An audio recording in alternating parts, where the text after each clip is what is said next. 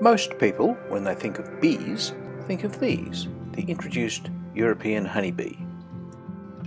They are very common and towards the end of spring, swarms of them can be seen as a colony searching for a new home. This can be a crack in a tree, but more often a tree hollow of some sort.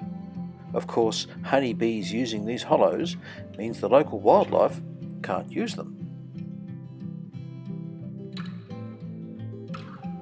Honeybees will even, on occasion, take over nesting boxes that were also intended to help local wildlife.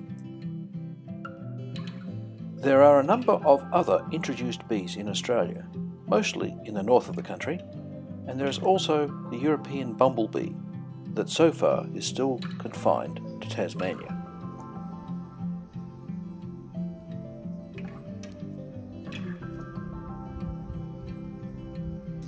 Many other insects can be mistaken for bees.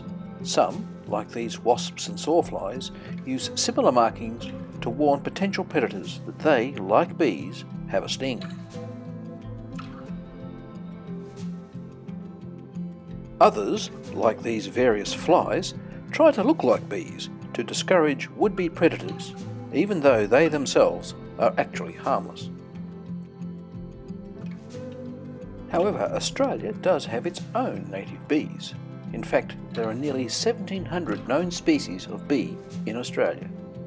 Some bees from the north of Australia live in colonies and even produce small amounts of honey. But the great majority of Australian bees, including all of our local bees, such as those shown here, are solitary. One local bee that many people are familiar with is the blue-banded bee they appear to be particularly fond of salvia flowers. Another local bee that preys on the blue-banded bee is the blue-spotted cuckoo bee. As our local native bees are mainly quite small and solitary, most people are not aware that they are about, but a bit of looking reveals quite a few different species. Tend to have solid tradesperson style common names like carpenter bee, plasterer bee, leafcutter bee, as well as reed bee and resin bee.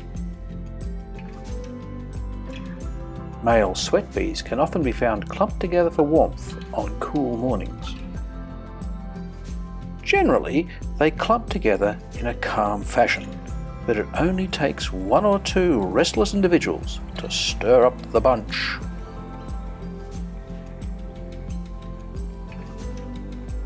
While most of our local bees are too small to hurt anyone, contrary to popular belief, they do have a sting and are capable of multiple stings. It's just that our skin is usually too thick for them to penetrate. This is another instance where it doesn't pay to be too thin-skinned.